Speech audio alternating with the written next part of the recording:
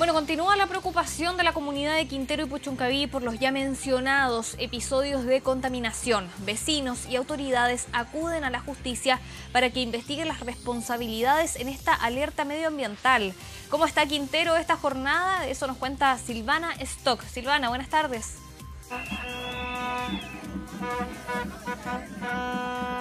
¿Cómo están? Muy buenas tardes. Nosotros nos encontramos acá en el centro de Quintero, la plaza, por así decirlo, donde a esta hora ya la gente, los vecinos de este sector se empiezan a manifestar para eh, parar la contaminación que ellos dicen los tiene bastante afectados, no desde ahora, sino que hace varios años atrás. Primero partieron con una caravana, eso de las 11 de la mañana, recorrieron las distintas, eh, los alrededores de las distintas empresas que son las eh, contaminantes para luego terminar de vuelta acá en la comuna de Quintero y seguir manifestándose de esta forma. Carteles, eh, bolsas de plástico negras y diferentes gritos que tienen para poder manifestar lo que ellos están pasando en este momento. Recordemos que ya van dos episodios graves de nubes tóxicas en lo que va esta semana. El primer episodio que se registró el día martes y luego el día jueves, donde más de 130 personas terminaron en el hospital con graves síntomas, eh, vómitos, dolores de cabeza, mareos, etcétera. Nosotros ahora nos encontramos acá en este lugar, vamos a tratar de hablar con una de las voceras también, si nos puede comentar un poco de esta manifestación. Bueno, eh, está claro aquí que todo Quintero está porque no hemos manifestado, este es el cuarto día ya. Y vamos a seguir, vamos a seguir hasta que nos den una solución real. Eso es lo que queremos, solución real. ¿Cuál es la solución real que ustedes esperan poder obtener de esto?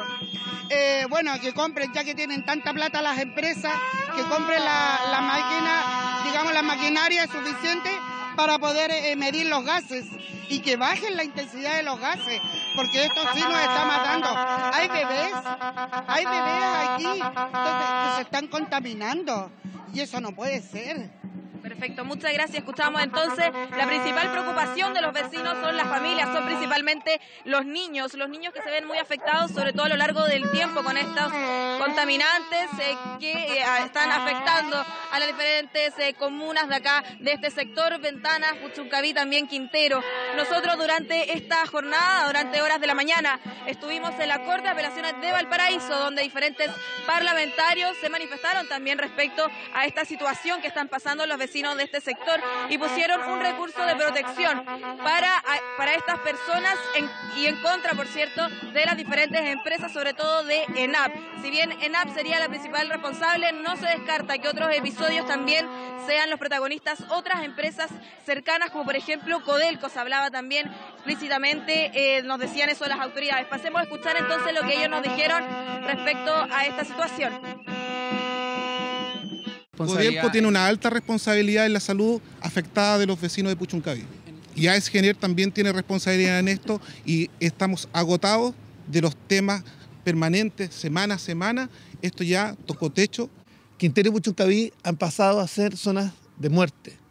Y por eso creemos que el Estado ha sido un Estado fallido en materia de protección. Nosotros también queremos eh, que en virtud de este recurso de protección, ENAP responda algunas preguntas concretas. Si eh, los ductos eh, que fueron objeto finalmente y presumiblemente del el daño ambiental a la comuna de Quintero eh, y Puchuncaví efectivamente mm. tiene regularizada regularización sanitaria.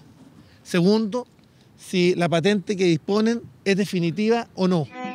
Bueno, escuchábamos entonces ya las declaraciones de algunos parlamentarios zona de muerte, así lo calificaron las autoridades, así le pusieron a estas comunas que se ven afectadas por las diferentes nubes tóxicas, por esta contaminación que viene desde hace varios años atrás y que ahora ya está tomando mayores repercusiones a la gente de este sector. Nosotros continuamos acá en Quintero, vamos a seguir muy atentos a lo que pase durante esta jornada con las diferentes manifestaciones de las personas que, como ustedes pueden ver ya en las imágenes, están cansados y buscan soluciones reales.